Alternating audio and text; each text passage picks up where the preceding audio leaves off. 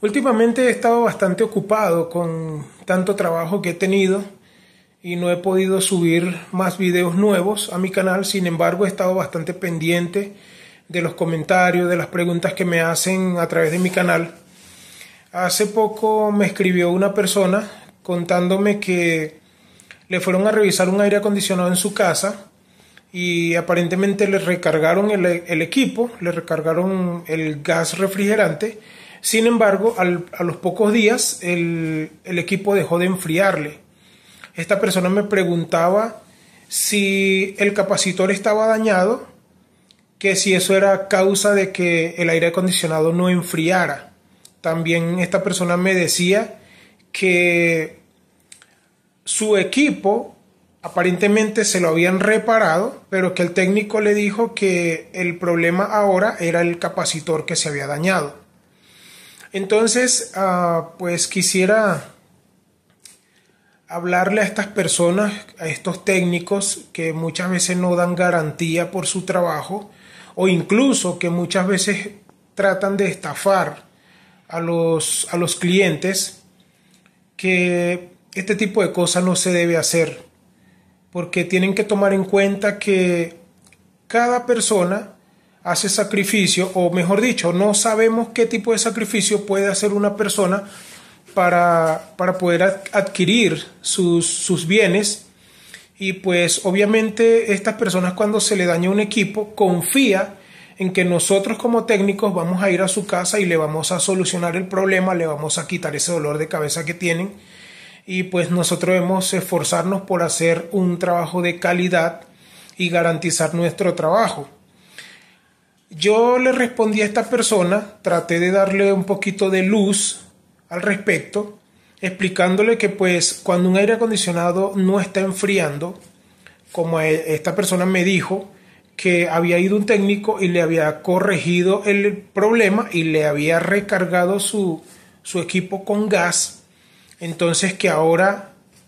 siete días después o una semana después, el equipo seguía con el mismo problema. Entonces que supuestamente el técnico le dijo, bueno, pues ahora el problema no es gas, ahora el problema es el capacitor que se te dañó. Tomen en cuenta las personas que no tienen conocimiento en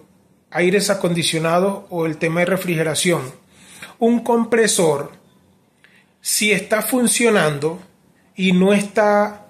enfriando el cuarto o la sala o el sitio a climatizar, si el compresor está encendiendo, si él está prendido,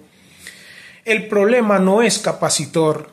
porque el capacitor es un componente que almacena energía para poder ayudar a que el, el compresor pueda arrancar. Es decir, si el compresor arrancó y el compresor está trabajando y no está enfriando,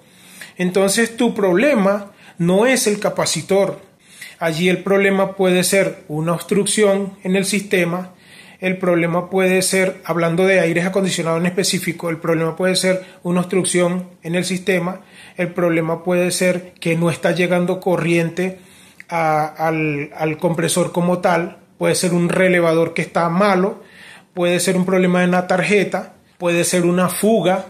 de gas. Entonces, muchas veces, lamentablemente, es muy lamentable que pase este tipo de cosas, que hay una fuga en el sistema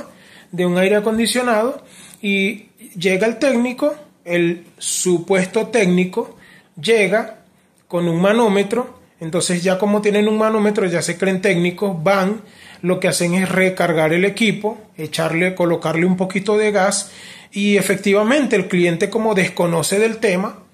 viene y se alegra porque em, comienza a enfriar el equipo, comienza a hacer su trabajo.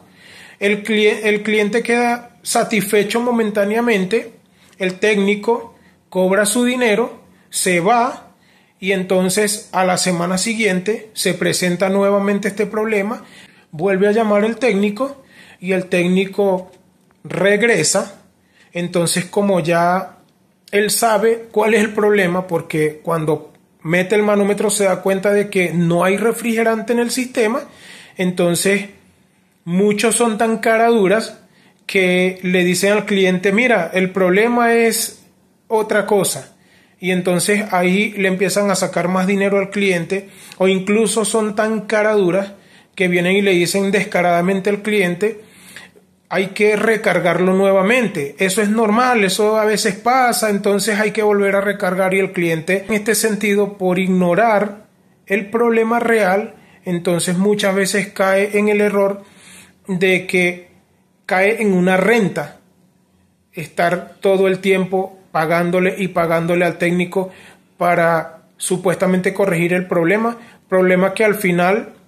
no se está corrigiendo porque no se está llegando a la raíz real del problema. Entonces, por favor, no se dejen engañar de este tipo de, de técnicos. Vean videos en YouTube, busquen la, la manera de, cuando el equipo le falla, busquen la manera de primero asesorarse a través de los videos de YouTube. Hay mucho material en YouTube, mucho material bueno, donde ustedes pueden verificar el daño que está presentando su equipo y más o menos tener una idea. No van a saber con exactitud, pero ya ustedes pueden tener una idea basándose en el comportamiento de su equipo y viendo tutoriales en YouTube. Así que no se dejen engañar, asesórense bien antes de meter en sus casas a uno de estos delincuentes.